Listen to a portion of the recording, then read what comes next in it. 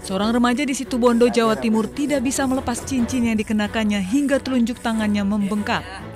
Korban akhirnya meminta bantuan petugas damkar untuk melepas cincin tersebut. Petugas harus gunakan alat pemotong agar cincin terlepas dari jari korban. Panas, panas. santai lo, santai lo, santai lo. Panas sira. Petugas juga meneteskan air di cincin logam agar suhunya tetap stabil saat cincin dipotong.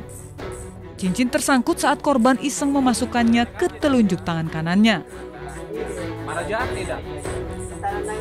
Penyelamatan cincin dari seorang penderita kemasukan cincin di tangannya, kita alhamdulillah bisa melepas cincin itu dengan alat seadanya.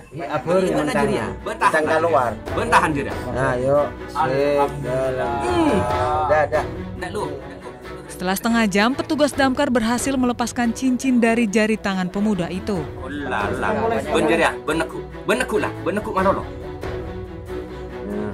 Allah lah. Alhamdulillah. Ini saudara.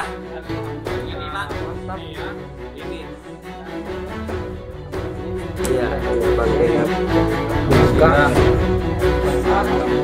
Dari kita ada.